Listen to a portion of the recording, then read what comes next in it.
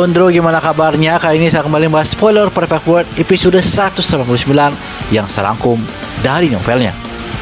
Setelah masuki kedalaman perbatasan sunyi, apakah Xiao akan berhasil membebaskan dosa dari para penduduk klan batu? Penasaran kisahnya? Langsung saja kita ke spoilernya.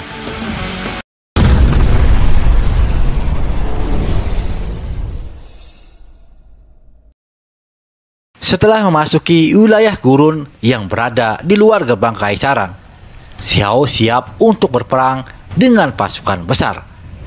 Seluruh gurun besar dulunya adalah medan perang, luas dan tak terbatas tanpa akhir. Orang-orang kuno yang tak terhitung jumlahnya bertempur di sana. Bertempur ke langit atas, bumi di bawah. Sambil terus bergerak, seorang jenis bertanya, bagaimana cara pihak sembilan surga untuk mengalahkan sisi lain yang memiliki makhluk abadi? Pertanyaan ini memang pasti akan selalu muncul di hati para pemula. Mereka tidak yakin pihaknya mampu berhadapan dengan semua monster itu. Sayangnya, belum ada satupun prajurit tua yang menjawab semua pertanyaan ini. Tak lama ketika mereka memasuki kedalaman gurun, semua orang secara tidak sadar mengangkat kepalanya. Di atas langit ada sesuatu yang menutupi mereka. Itu tak terbatas dan berbentuk seperti kubah bintang. Atau lebih tepatnya jurang dunia yang mengarah ke atas. Itu hitam dan putih saling terjalin seolah-olah yin dan yang melilit satu sama lain.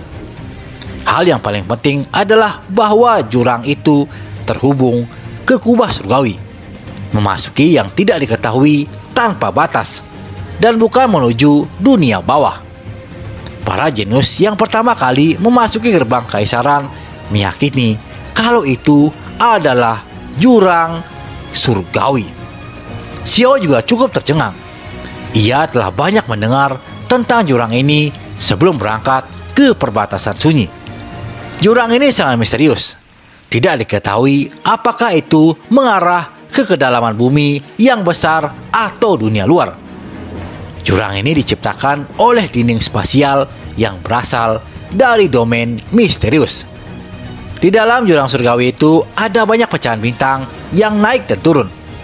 Banyak ahli telah mencoba untuk menyelidikinya, tetapi tidak ada yang pernah menemukan sumbernya. Namun kenyataannya, Itulah yang melindungi perbatasan sunyi dunia ini. Lalu seorang jenius bertanya, bagaimanakah jurang itu bisa melindungi semua orang? Banyak orang menjadi bingung. Mereka melihat bahwa jurang surgawi hampir dalam jangkauan. Namun mereka tidak merasakan kekuatan khusus. Lantas seorang kesatria tua berkata, itu tidak efektif melawan makhluk biasa. Tetapi begitu ada makhluk abadi yang menyeberang dari sisi lain dan memasuki wilayah ini, mereka akan tersedot ke dalam jurang surgawi. Begitulah cara kerja dari jurang surgawi.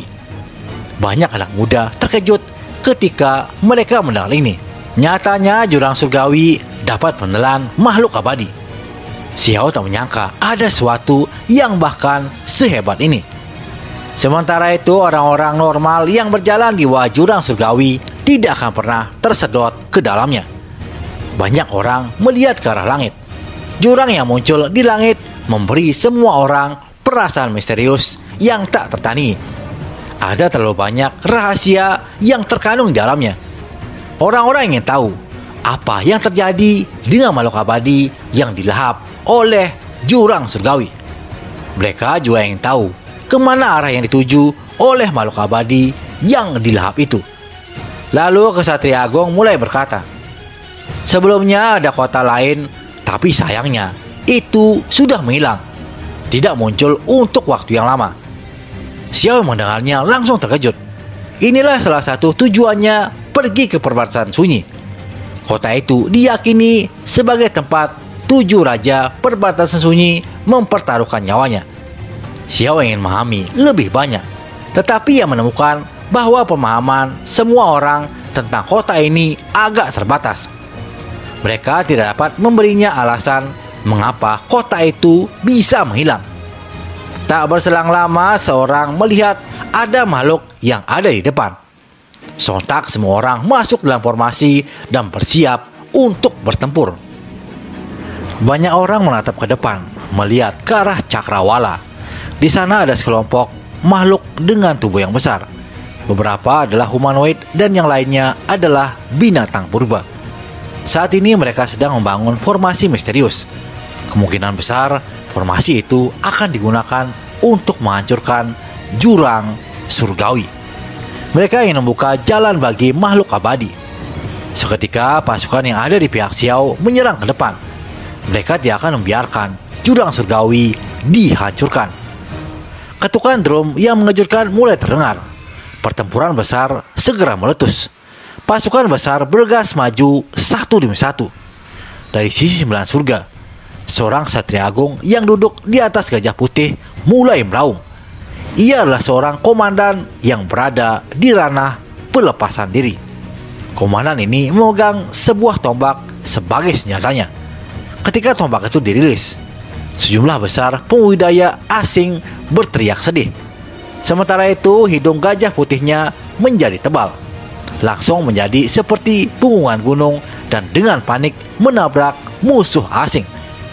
Hidung gajah yang tebal ini memiliki kekuatan membunuh yang menakjubkan. Segera membuat para pembudidaya asing menderita kerugian yang cukup besar. Banyak orang batuk darah dan terbang keluar. Beberapa lainnya langsung meledak. Segera setelah itu, seorang monster melompat keluar dari pasukan asing. Rambut emasnya tersebar ke bawah. Monster ini memiliki kepala singa, tubuh manusia, dan ekornya seperti buaya. Monster ini melepaskan raungan, mengacukan tombak ilahi saat membantai jalannya. Monster itu langsung berhadapan dengan Satria Agung yang duduk di atas gajah putih. Senjata mereka mulai bersilangan. Kebisingan berdering sejauh ratusan ribu li. Mengikuti tombak perang individu yang menunjukkan kekuatan, tentara asing yang lain bergas mendekat. Mereka akan terlibat dalam peperangan yang kacau balau. Seketika teriakan perang mengguncang langit. Kedua belah pihak terlibat satu sama lain. Darah menyemur keluar dari waktu ke waktu. Kubah langit bahkan hampir hancur karena dihantam oleh energi perang. Tak diduga Ksatria Agung yang menunggangi gajah putih telah jatuh. Makhluk kuat berkepala singa dan bertubuh manusia terlalu menakutkan.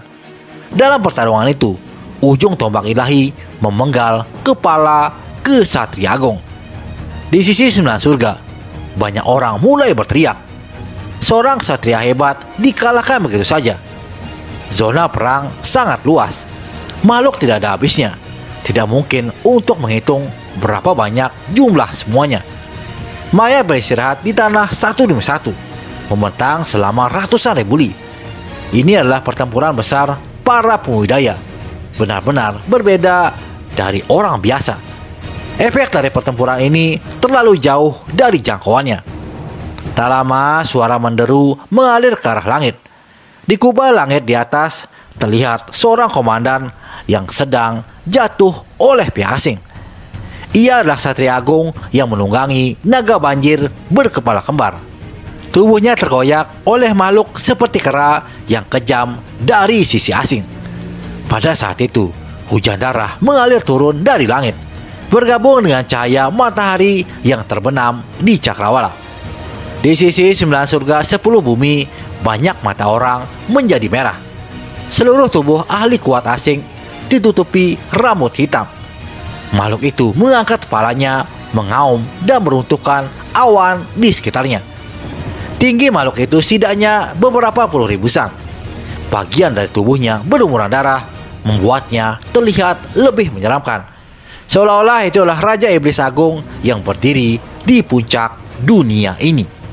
Tak berselang lama, langit mulai terkoyak. Satria hebat lainnya bergas dari kejauhan. Sebuah kuali kuno tergantung di atasnya. Kemudian mulai bertarung sengit dengan makhluk ganas lainnya. Lebih jauh lagi, Xiao juga mengambil tindakan.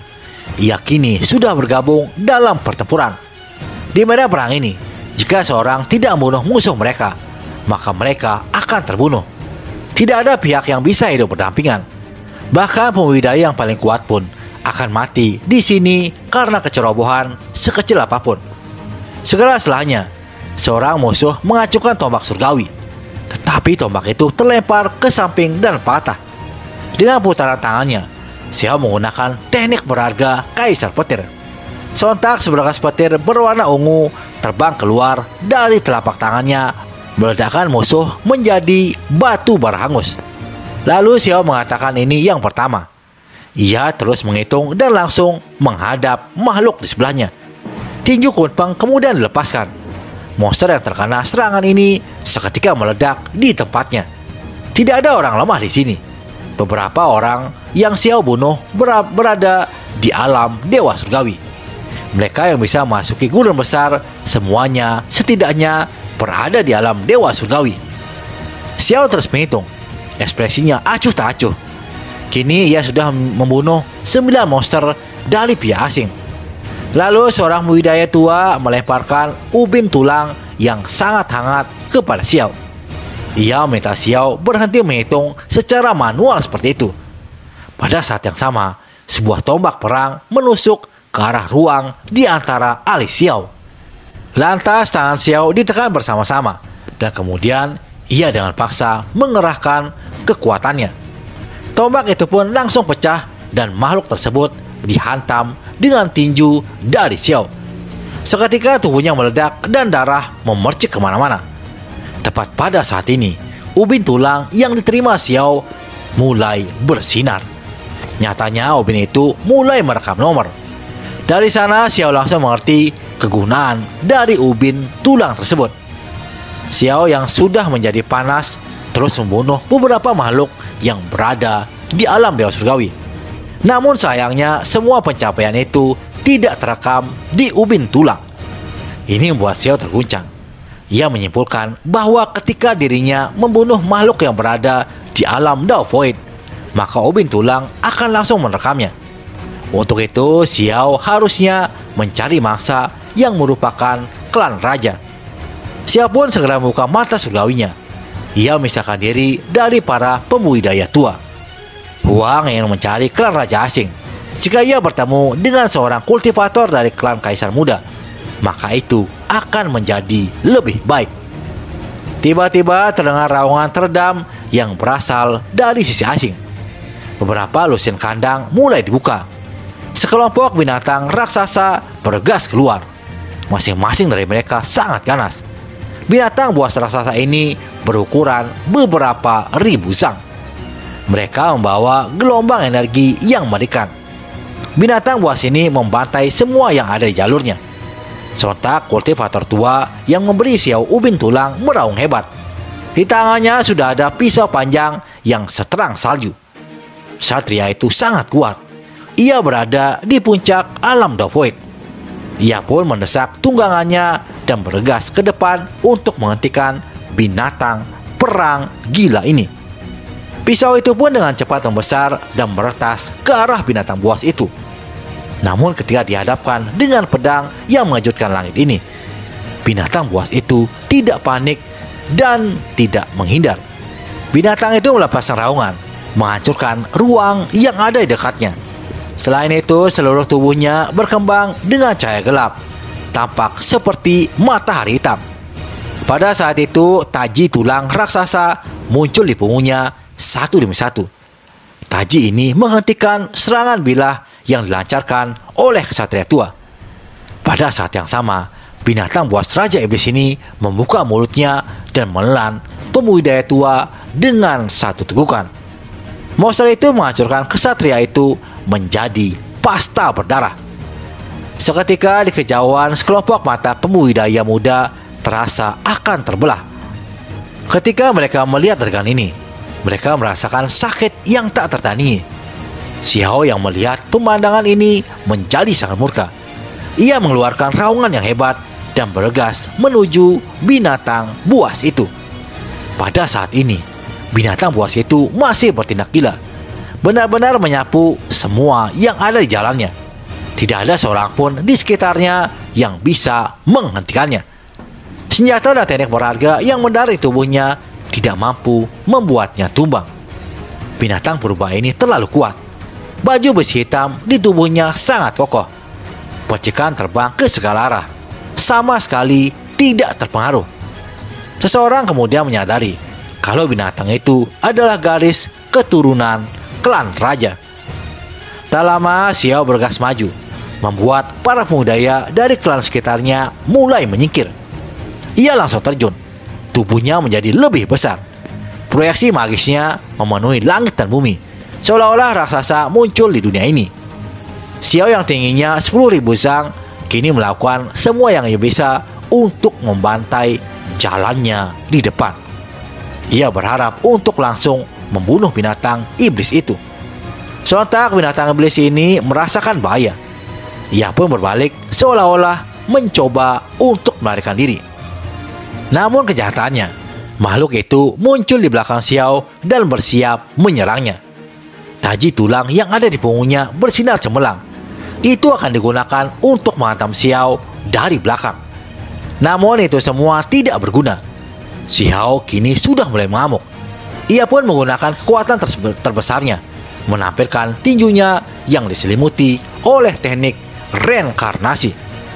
Seketika sebagian besar taji tulang itu segera meledak. Tubuhnya menua dan kulitnya mulai mengelupas. Namun binatang purba ini benar-benar sangat kuat. Semua tombak tulang di tubuhnya melesat keluar. Itu berubah menjadi panah raksasa dan menembaki Xiao yang ada di depan. Sementara itu tubuhnya sendiri dengan cepat melarikan diri tapi hal itu tidak berjalan dengan mulus. Bagaimana mungkin Xiao akan biarkan hal ini bisa terjadi? Xiao kemudian meraih binatang itu dan merobek tubuhnya di udara. Sontak darah mengalir seperti sungai yang panjang, mewarnai gurun yang luas menjadi merah. Namun binatang buas ini masih belum sepenuhnya mati. Roh primordialnya ingin berjuang bebas, tapi ia terperangkap di dalam dagingnya Lalu Xiao melepaskan teknik berharga reinkarnasi. Akibatnya daging binatang itu langsung menua beberapa puluh ribu tahun. Semangat primordialnya juga terus menurun.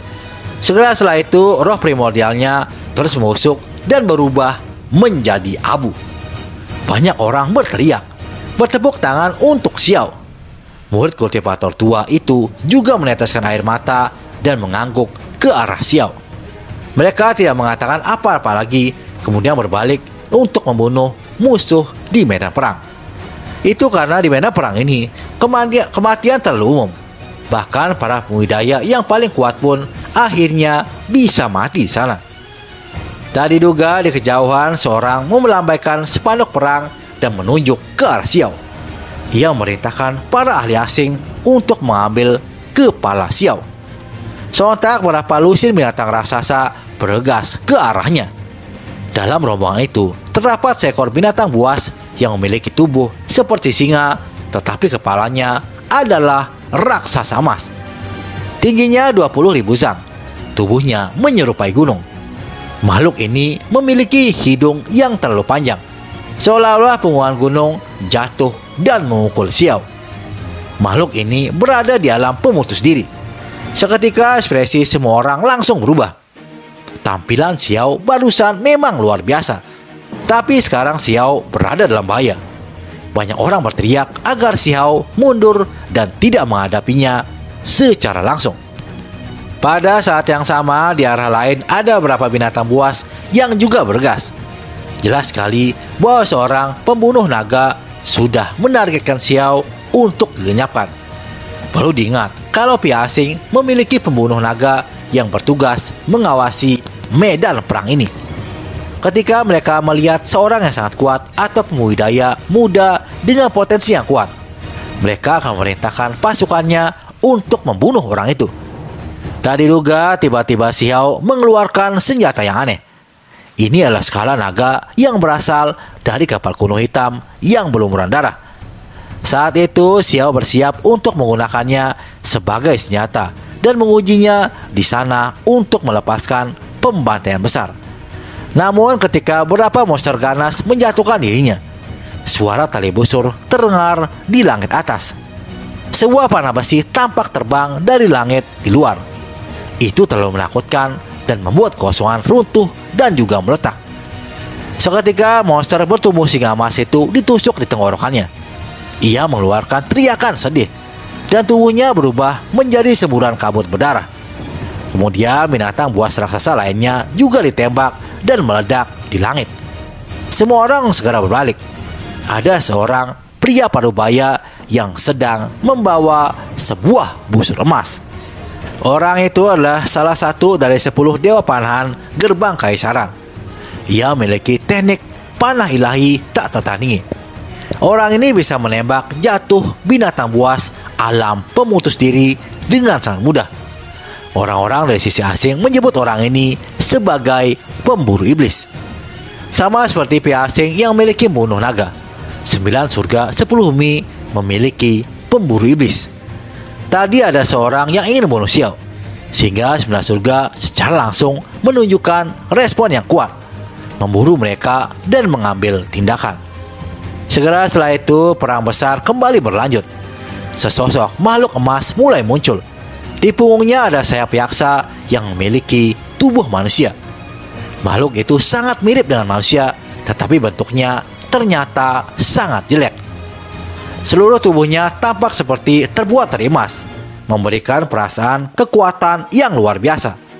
Orang mengenali makhluk ini sebagai yaksa emas dan merupakan salah satu dari klan raja. Klan ini adalah salah satu yang telah berada di peringkat 15 klan raja teratas untuk waktu yang lama.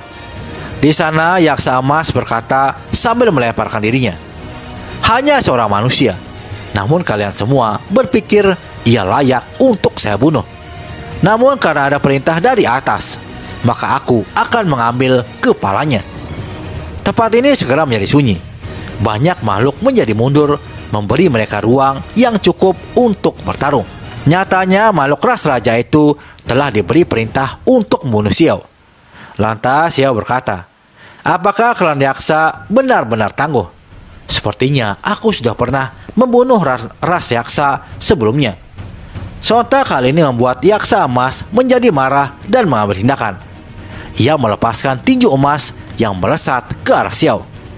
Tinju ini segera dihadapi dengan tinju yang sama. Seketika suara tulang patah bisa terdengar. Orang-orang dari sisi asing langsung tertawa keras. Mereka yakin kalau tuang itu, tulang itu dari pemuda yang sudah berbenturan dengan Yaksa Emas. Namun tawa makhluk asing itu berhenti saat mengetahui Yaksa emas gemetar dan terhuyung mundur. Seluruh lengannya kini sudah berlumuran darah. Banyak orang tidak percaya dengan apa yang mereka lihat sekarang ini. Kemudian tubuh Xiao bersinar menampilkan kitab suci yang tidak dapat dihancurkan. Ia pun terus melepaskan tinjunya dan bergerak seperti kilat.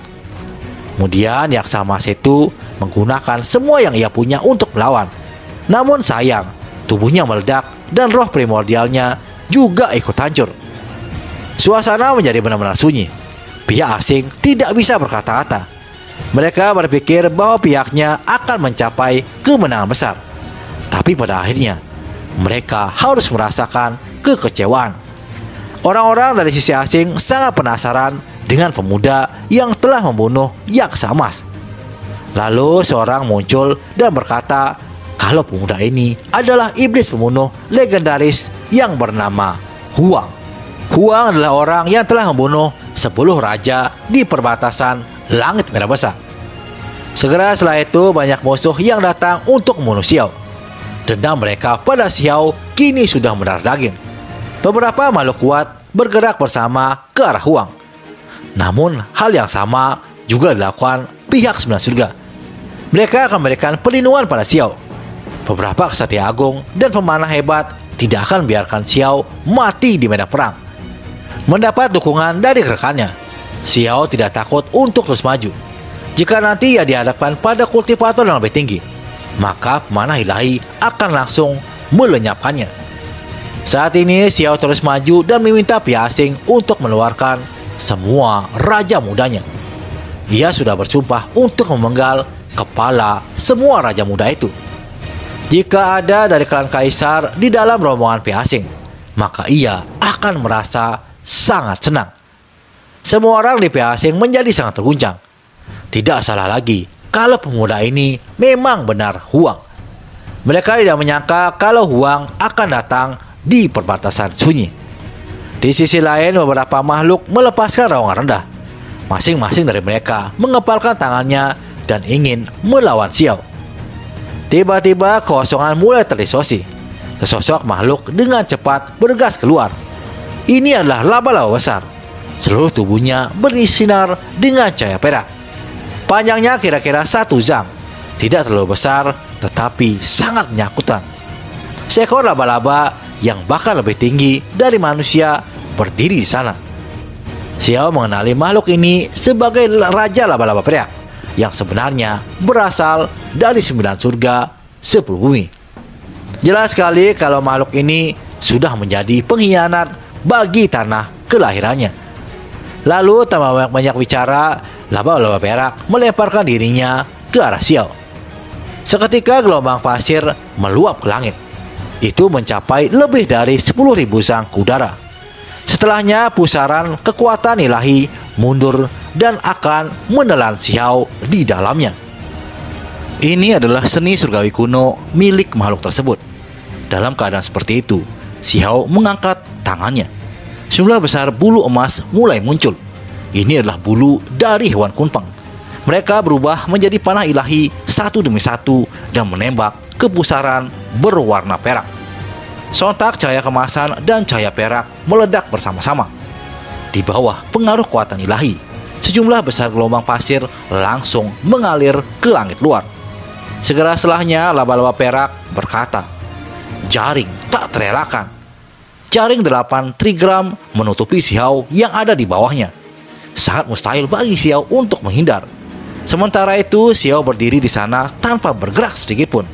Tetapi domain di sekitarnya menjadi beberapa kali lebih kuat. Selain itu, awan tebal muncul di langit disertai dengan guntur dan kilat. Petir mengalir seperti air terjun, jatuh dari langit di atas. Ini bukan petir biasa. Ini membawa gumpalan energi kacau yang sangat menakutkan. Selain itu, sejumlah besar hujan turun dengan kilat yang menyambar. Saat ini Xiao menggunakan teknik berharga kaisar petirnya, apalagi melepaskan serangan yang paling kuat. Ia akan menggunakan kesengsaraan petir untuk menyapu langit dan bumi. Pada saat itu, jaring laba-laba yang telah memurnikan banyak ahli Daovoid benar-benar pecah. Laba-laba perak juga menderita sambaran seberkas petir setebal gunung. Tubuhnya segera hangus hitam dan ia meledak menjadi pasta berdarah. Segera setelah itu sebuah jari muncul di kubah langit. Jari itu turun dengan beberapa bintang jatuh dan mengarah ke Xiao. Adegan ini sangat menakutkan. Makhluk ini pasti bisa menghancurkan bulan dengan satu jari. Saat itu pakar yang memiliki teknik ini sedang duduk di kubah langit atas. Ia sudah menunggu untuk mengambil tindakan pada Huang. Jari itu memang terlalu besar, bahkan pegunungan tidak signifikan jika dibandingkan. Sontak Satria Agung yang duduk di bintang menelan surga berteriak hebat. Ia meninggalkan tunggangannya dan memegang gada emas murni di tangannya. Kesatria ini mengarahkannya ke kubah langit. Pada saat itu, gada emas tiba-tiba membesar dan melepaskan suara petir dao yang hebat. Dalam sekejap mata, gada dan jari emas itu mulai bertabrakan. Bentrokan ini bahkan berhasil merobek kubah langit. Di bawah mata terkejut banyak orang. Bintang-bintang kecil meledak satu demi satu di luar angkasa. Di sana, Satria Agung mengatakan kalau ia kecewa dengan tanggapan dari pihak asing. Tidak seharusnya kultivator di alam pelepasan diri mengambil tindakan sekarang. Satria Agung sedari tadi membiarkan Xiao bertarung dengan musuh yang berada di level yang sama. Tapi sekarang, pertarungan mereka sudah diganggu. Apalagi pihak lain sengaja melepaskan serangan mematikan untuk membunuh Huang. Ini semua tidak bisa dibiarkan. Akibatnya panah ilahi juga mulai ditembakkan ke arah pihak asing. Empat makhluk kuat melepaskan tangisan yang menyedihkan. Mereka tidak dapat melarikan diri sama sekali. Tubuh mereka meledak dan roh primordialnya juga dihancurkan. Mereka semua adalah orang-orang dari klan raja. Semuanya ahli dengan potensi yang besar. Pada akhirnya mereka terbunuh dengan sangat mudah. Ekspresi makhluk dari si lain langsung berubah. Pemanah surgawi dari gerbang kaisaran adalah musuh yang paling mereka takuti. Pemanah itu adalah mimpi buruk di medan perang yang tak bisa mereka hindari. Tiba-tiba tiga sosok terbang berturut-turut. Bahkan ada panah ilahi berwarna hitam yang menembak ke arah Xiao. Di sisi sembilan surga, seorang pemanah ilahi menembakkan busurnya.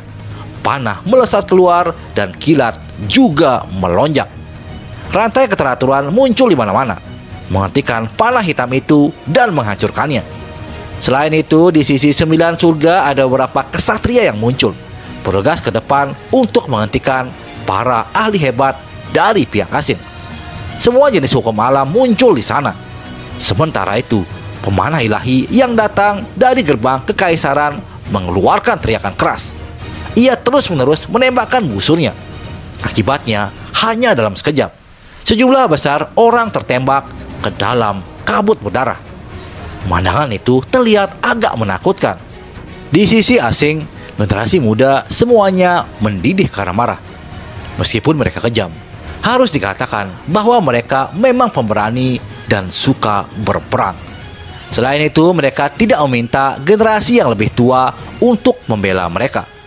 Mereka benar-benar ingin membunuh Huang dengan tangannya sendiri. Lantas seorang raja muda berkata, Leluhur tua, tolong berhenti sekarang. Kami bersedia untuk memenggal kepala Huang, membasuh rasa malu dari perbatasan langit merah besar. Beberapa orang meraung pada saat yang sama, mengajukan petisi kepada leluhur tua itu. Di langit, makhluk asing yang sedang bertarung mengerutkan keningnya. Semuanya merasa sedikit tidak puas. Baru saja mereka benar-benar ingin membunuh Xiao secara langsung. Tapi tidak pernah menyangka akan ada beberapa orang yang menawarkan perlindungan padanya. Semuanya adalah tokoh tingkat atas.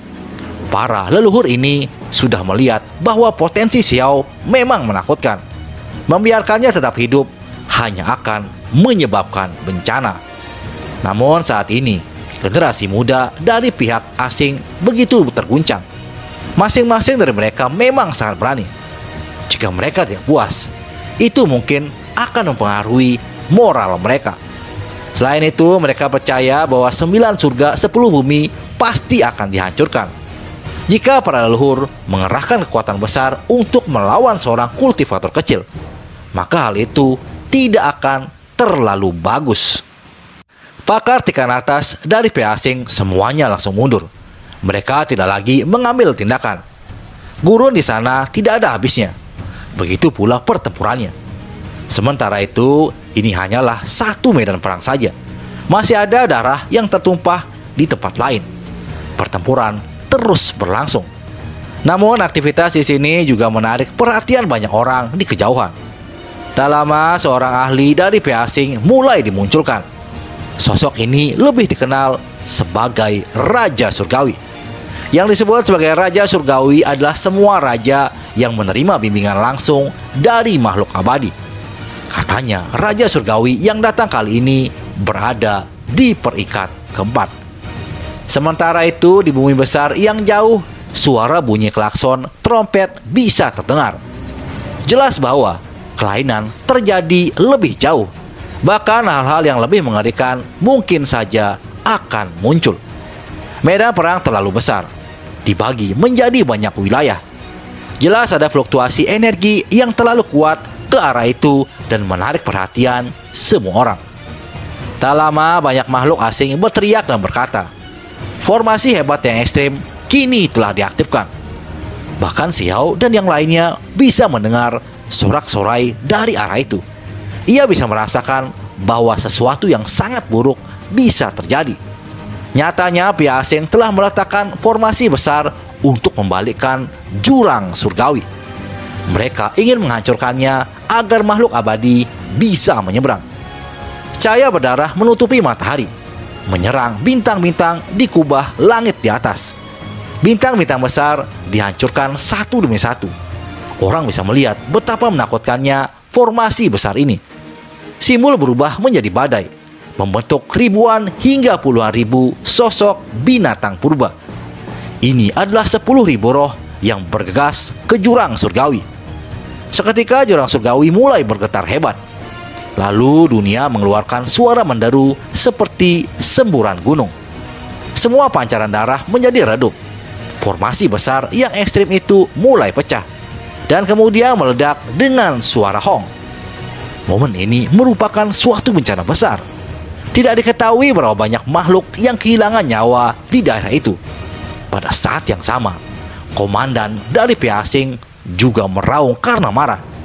Mereka tidak rela jika spanduk formasi miliknya mengalami kehancuran. Banyak bahan berharga juga terbang menuju jurang surgawi. Saat ini para tokoh asing ingin merebut kembali barang-barang itu. Itu karena ada beberapa bahan yang memang terlalu berharga.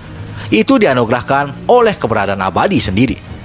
Sayangnya jurang surgawi telah menelan semuanya. Para komandan yang mendekatinya juga menjadi korban. Sontak orang-orang dari pihak asing berteriak histeris. Bahan-bahan berharga dan para komandannya telah ditelan oleh jurang surgawi.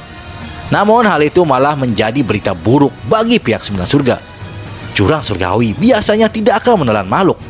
Itu hanya akan menargetkan makhluk abadi saja. Mengapa kali ini bisa terjadi seperti itu? Tak lama ada suara yang berkata, Sepertinya formasi itu masih berguna untuk menghancurkan jurang surgawi. Seseorang mengambil tindakan dari sisi lain, bukan dari gurun, tetapi dari batas cakrawala. Semua orang bisa merasakan hawa dingin yang menyesakan bahkan dari jarak yang tak berujung. Lalu garis cahaya hitam bergas ingin memasuki medan perang, terlebih lagi memasuki jurang surgawi. Jelas sekali kalau sosok itu ingin merebut emas abadi dan menyelamatkan para komandannya dari jurang tersebut. Namun tepat pada saat ini, jurang surgawi mulai bersinar, melebihi dari masa lalu Bintang-bintang besar berputar-putar satu demi satu. Garis demi garis kekacauan primal yang tak terhitung jumlahnya bahkan semakin turun. Ada jumlah besar cahaya abadi yang bersinar cemerlang. Akibatnya garis cahaya hitam yang bergas tidak bisa mendekati siapa pun sama sekali. Ia juga tidak bisa merebut kembali emas abadi. Semuanya langsung ditelan oleh jurang surgawi. Selain itu, tepat pada saat ini, di batas cakrawala, raungan marah mulai terdengar.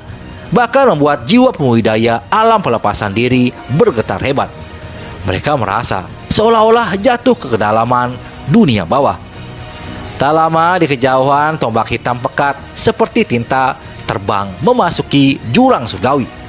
Benda itu kemudian menghilang tanpa jejak dan tidak kembali lagi. Orang-orang sangat terkejut karena tombak ini adalah senjata abadi. Itu adalah senjata dari seorang abadi sejati. Sontak makhluk itu menjadi semakin murka. Pasalnya, kini senjatanya sudah tertelan oleh jurang surgawi juga. Karena tidak ada yang bisa dilakukan pada jurang itu. Makhluk ini menarik diri dan pergi dari sana. Semua orang merasakan jantung mereka berdebar ketika melihat ke arah jurang surgawi apa sebenarnya yang ada di dalamnya. Bahkan keberadaan abadi saja tidak berani mendekat. Setelah kebisingan itu, medan perang tiba-tiba memasuki keheningan singkat. Kedua pasukan mundur dan tidak bertempur lagi. Itu karena apa yang baru saja terjadi terlalu mengejutkan. Keberadaan abadi bahkan mengambil tindakan. Tapi pada akhirnya tetap kalah dan senjatanya menghilang. Pada saat ini di atas kubah langit ada lebih dari 10 sosok yang saling berhadapan. Masing-masing duduk di satu sisi. Di satu sisi adalah Meng Tianzeng dan dua tetua lainnya.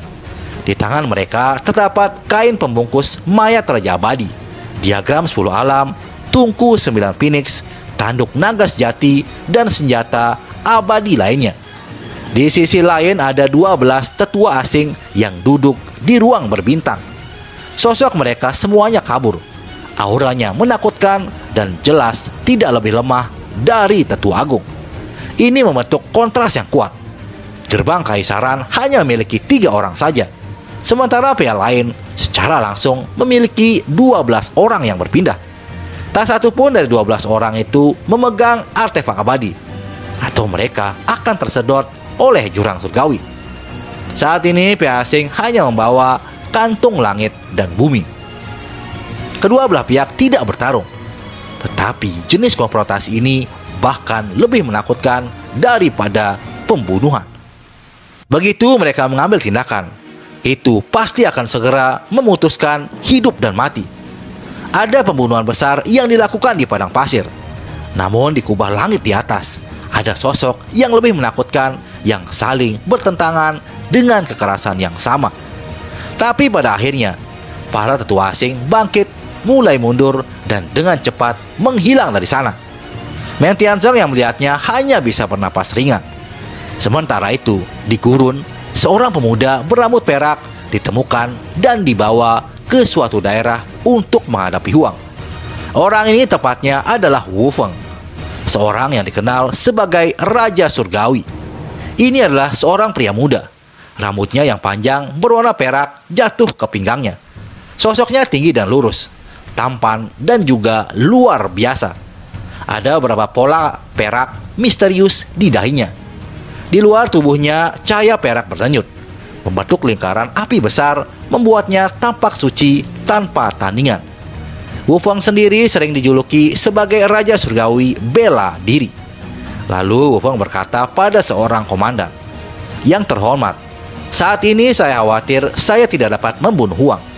Saya datang dengan hal-hal penting lainnya. Nyatanya hal penting yang dimaksud itu adalah klan Anlan dan Sutuo telah menulis dekret yang akan diserahkan kepada tuan dari Wu Feng. Ia diminta membuka dekret itu di padang pasir. Sultak semuanya langsung mundur dan memberinya jalan. Tak lama cahaya mulai berkedip. Sebuah altar muncul di gurun itu. Itu sangat misterius dan juga kuno karena diukir dari tengkorak. Lalu tangan Lufang mulai bersinar. Sebuah dekret emas tiba-tiba muncul di tangannya. Ia pun berlutut dan meletakkannya di atas altar. Kemudian dengan cepat mundur dari sana. Tak lama, tiba-tiba langit dan bumi mulai bergetar. Gelombang aura yang tak terlukiskan menutupi dunia. Sementara itu, Penatua Agung Men Tiangzeng dan yang lainnya mengungkapkan ekspresi serius.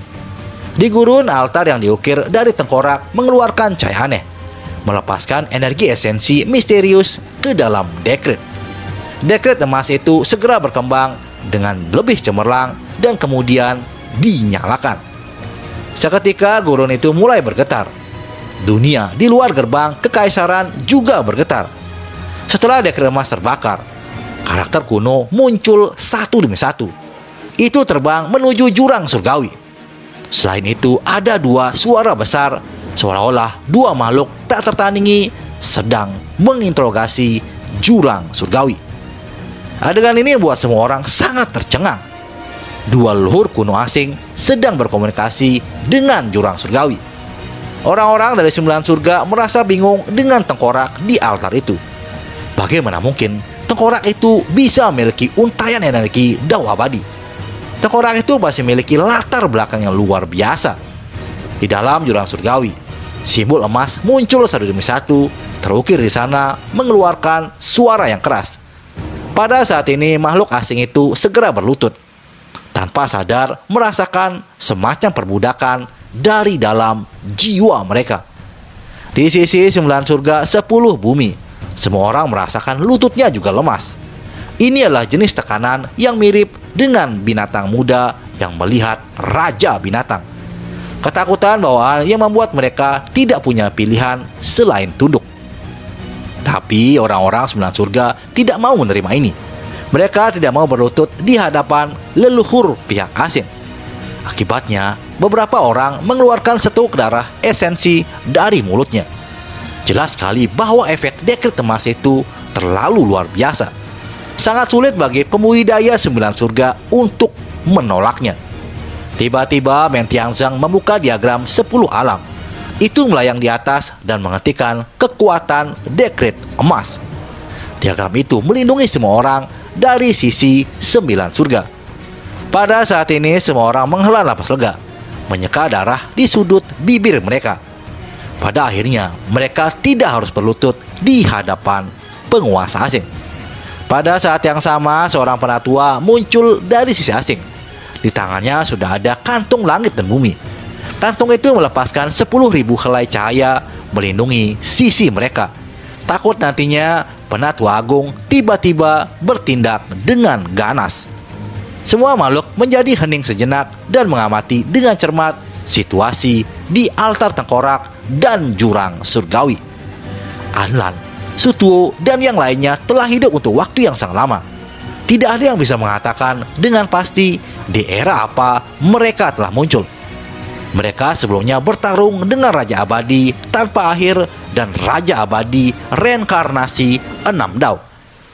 Tak berselang lama, jurang surgawi menunjukkan reaksinya. Gelombang energi esensi putih dilepaskan, mengalir ke jurang surgawi dengan energi yang melonjak. Kemudian rantai merah muncul satu demi satu, bergas keluar dari kabut putih. Rantai itu langsung menuju simbol emas yang muncul dari dekret magis. Pada saat itu, suara-suara yang memekakan telinga bisa terdengar. Kini sebagian dari karakter kuno emas telah dihancurkan. Pada akhirnya di bawah suara pupu, semua simbol itu diledakkan dan dekret magis juga menghilang. Di tempat lain, Xiao mendekati tetua agung dan bertanya apa yang sebenarnya terjadi. Dengan tenang, Meng Tianzang lalu berkata, Seperti yang kalian semua harapkan, pihak asing sedang menegur surga dan melakukan risalah karma. Sontak Xiao menggigil dalam hati. Betapa menakutkannya Anlan dan Sutuo itu. Mereka sangat berani untuk menentang surga. Walaupun semua usahanya tidak berhasil. Tapi semua orang tahu kalau makhluk abadi tidak takut dengan jurang surgawi. Lantas Xiao yang masih penasaran ingin tahu sebenarnya apa makna dari dekret emas itu. Walaupun tidak terlalu memahami secara mendalam, Meng Tianzheng berkata pada Xiao, Makna kasarnya adalah benda itu harus ditemukan. Selain itu, saudara-saudara Dao harus dibimbing kembali. Itulah sebabnya pihak asing harus memasuki celah. Jika Xiao mendengar kata-kata ini, ia merasakan ada yang janggal. Apa yang sebenarnya dicari oleh pihak asing di sembilan surga sepuluh bumi? Terlepas dari ini, Alan dan Sutuo mengatakan bahwa mereka harus membimbing kembali beberapa saudara Dao ini bahkan lebih mengerikan. Lupakan para kesatria agung. Bahkan penatua agung sendiri merasa kulit kepalanya agak mati rasa. Apakah memang di sisi gerbang kekaisaran sudah ada orang-orang dari pihak asing? Ini semua masih menjadi misteri. Tak lama, tetua asing yang memegang kantung langit dan bumi berjalan mendekat. Di sana ia berkata, saya menyarankan Anda semua untuk menyerahkan benda itu sesegera mungkin. Ini adalah permintaannya. Pada saat itu pikiran Xiao dan yang lainnya sangat terguncang. Tapi mereka juga dipenuhi dengan harapan. Ingin mendapatkan lebih banyak informasi dari mulutnya. Apa sebenarnya benda yang mereka inginkan tersebut? Lalu dengan tenang Tetua Agung berkata bahwa benda itu adalah milik sembilan surga tidak ada kewajiban bagi kami untuk menyerahkannya. Pada kenyataannya, Meng Tianzeng sendiri juga tidak tahu apa benda itu. Tapi ia yang mempelajarinya lebih lanjut dari tetua asing ini. Mendengar penolakan dari pihak musuh, tetua asing mengancam kalau mereka akan memusnahkan sembilan surga, sepuluh bumi sekali lagi. Penatua Agung tidak mengatakan apa-apa dan tidak menanggapinya. Sementara itu, kini seorang komandan bernama Jin Tuo menyuruh Wu Feng untuk segera maju. Ia ingin Raja Surgawi bela diri memenggal kepala Huang. Mendengar perintah langsung, Wu Feng berjalan ke depan dan mendekati Xiao. Ia langsung mengulurkan tangannya dan menunjuk ke arah Huang. Orang-orang dari pihak asing berteriak dengan hebat. Mereka mengeluh-elukan Wu Feng sebagai raja muda yang tak tertani Huang yang dijuluki Raja Iblis pasti akan terbunuh dalam sekejap. Xiao yang mendengar suara bising dari depan tidak mengatakan sepatah kata pun. Ia langsung berjalan ke depan untuk mencoba kemampuan Raja Surgawi itu. Ketika sudah saling berhadapan, Wu Feng berkata, Senior Jin Tuo ingin aku menggal kepalamu. Sementara itu, saudara Hi Ziming mengatakan bahwa kamu adalah miliknya. Jujur saja, aku bingung dengan pilihan yang harus diambil sekarang. Jelas sekali kalau Wu Feng sangat meremehkan Huang. Sebelum bertanding, ia sudah merasa menang melawan musuhnya. Huang yang sedari tadi diam kemudian berkata, Kamu tidak perlu bingung dengan semua masalah itu. Hari ini aku akan membunuhmu dan selanjutnya aku akan membunuh Hi Ziming di masa depan. Wu Fang yang mendengarnya sontak meraung dan keras. Tangan kanannya menghasilkan jejak pedang surgawi untuk meretas Xiao. Pada saat itu pancaran pedang surgawi langsung melesat ke arah Huang. Sementara itu Xiao menghasilkan jejak tinju. Ia menghadapi pancaran pedang itu secara langsung. Seketika Xiao meledakkan energi pedang yang tak terbatas dengan satu kepala tangan. Dan kemudian menghancurkannya bersama dengan bilah telapak tangan dari Wufang. Wufang pun kembali meraung dan menyerang dengan panik. Tangannya membentuk jejak bilah dan mengoperasikan jenis metode leluhur yang menakutkan. Ini adalah seni surgawi yang abadi. Di sisi lain, banyak orang menjadi bersemangat. Ini adalah seni pedang yang sangat menakutkan. Sesuatu yang hanya bisa dioperasikan jika seseorang memahami teknik leluhur yang misterius. Setelahnya, cahaya pedang mengalir keluar dalam garis-garis tak berujung, bergas keluar menenggelamkan langit dan bumi. Saat menghadapi serangan seperti ini, si Hao masih memadatkan jejak tinjunya dan mengoperasikan kitab suci yang tak dapat dihancurkan. Ia akan menghadapi pedang surgawi abadi secara langsung. Dalam konfrontasi itu, Si Hao dan Wu Feng saling menyerang dengan tiga pukulan saja. Segera setelahnya, keduanya berpisah dan melewati satu sama lain. Si Hao berdiri di sana dengan tenangnya, tidak menunjukkan ekspresi apa pun. Sedangkan ekspresi Wu Feng terlihat sangat serius. Ia berbalik dan tidak bisa menyembunyikan keterkejutannya. Tak diduga tiba-tiba dari kejauhan terdengar klakson trompet. Itu adalah klakson keong pihak asing agar pasukannya segera mundur. Jelas bahwa peristiwa yang terjadi hari ini cukup aneh. Sebuah dekret telah muncul, namun tidak bisa mengintimidasi jurang surgawi. Sekarang asing memutuskan untuk menarik diri dari medan perang. Semua yang terjadi ini agak tidak wajar. Mereka akan menyusun ulang rencana dan akan kembali pada pertempuran selanjutnya. Wu Fang yang mendengarnya juga ikut mundur. Tidak ada alasan baginya untuk melawan perintah. Pemuda itu sepertinya sangat terguncang barusan. Ketika ia berbalik, Wu Fang batuk beberapa suap darah. Semua pemuda asing yang melihatnya sangat terkejut. Mereka tak menyangka dalam pertempuran tadi, Raja Surgawi ini menderita serangan telak dari Huang.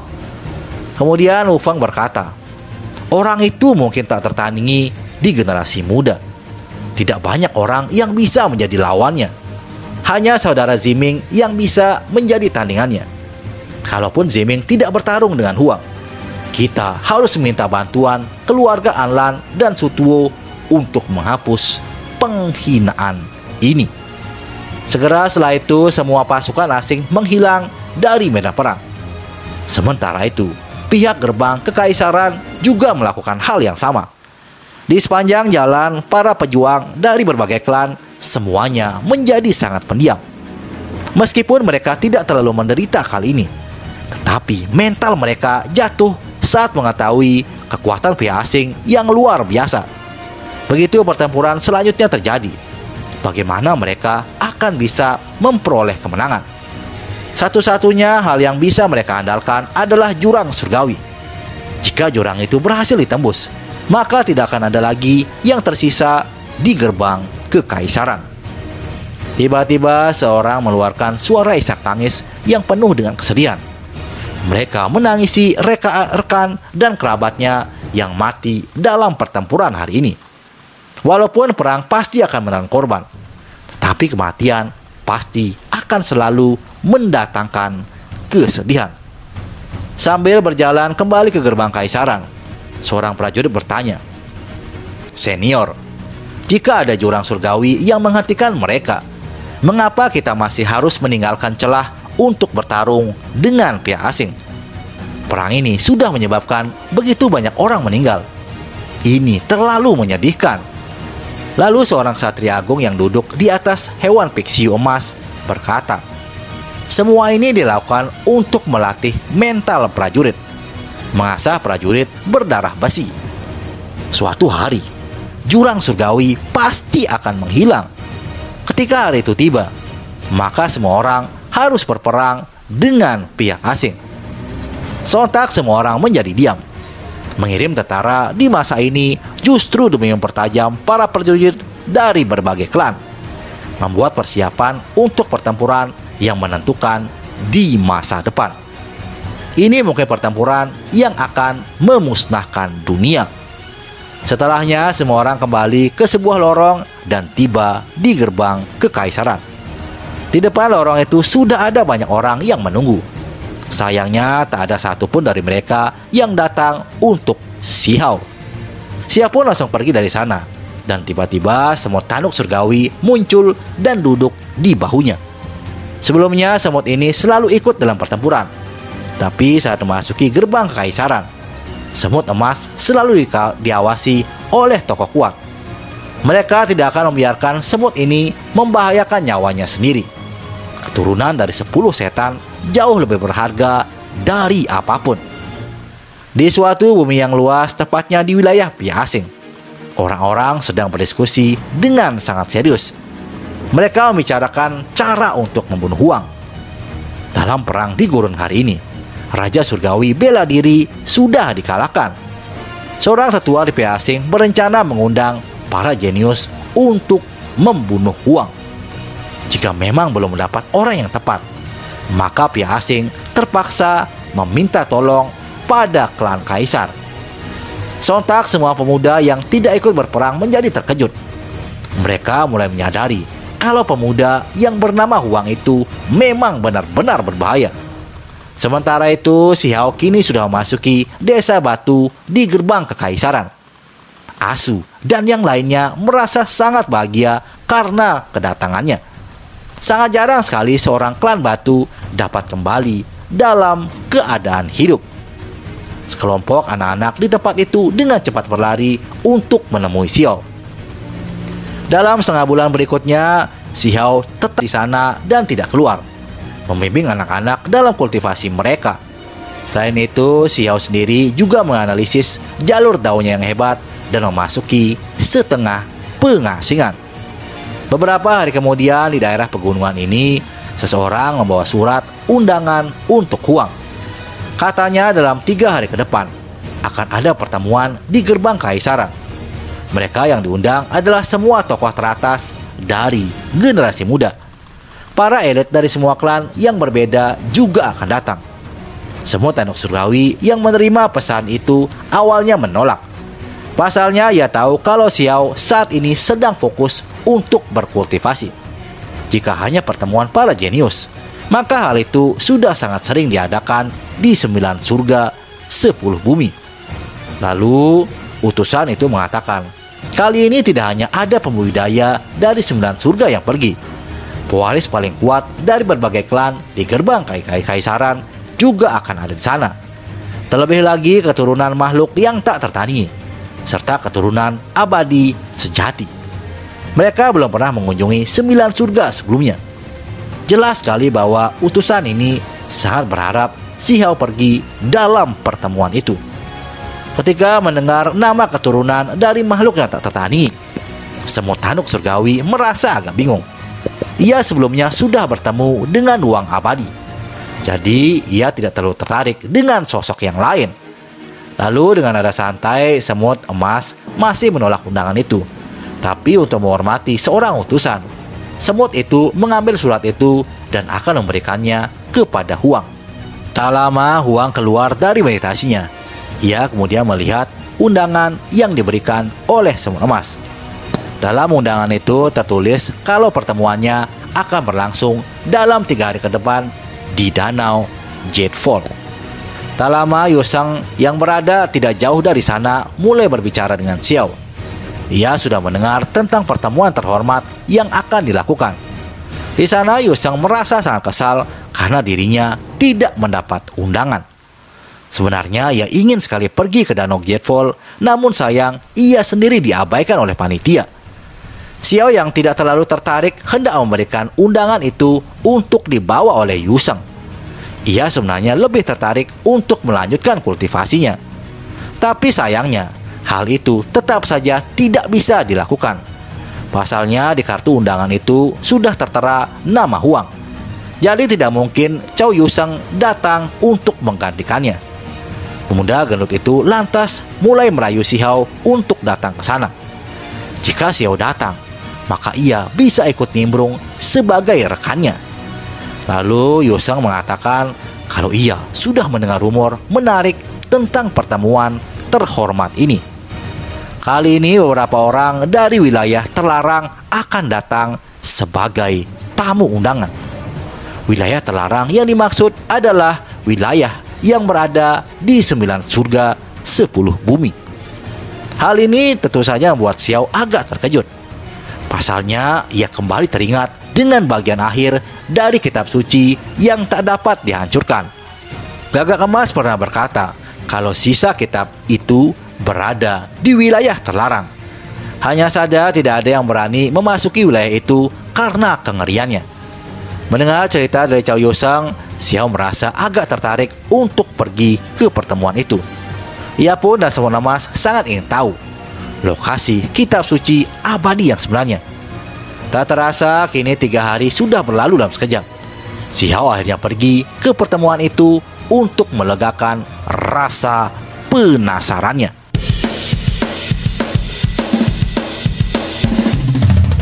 Gimana terus semoga Anda terhibur dengan cerita saya setelah masuki area Danau Jetfall untuk menghadiri undangan. Rahasia macam apa yang akan diperoleh oleh Xiao? Penasaran akan tanya? Tunggu episode berikutnya, Andrew. Segitu dulu untuk hari ini. Saya Dede undur diri. Arigato. Sorry, Andrew ya. Kemarin saya nggak upload karena saya muntah-muntah, Andrew. Kebanyakan makan. Makanya nggak sempat recording. Eh, kemarin agak sorian langsung tepar ya tidur. Bangun kesiangan, Andrew. Mohon maaf, Andrew ya. Oke, Andrew.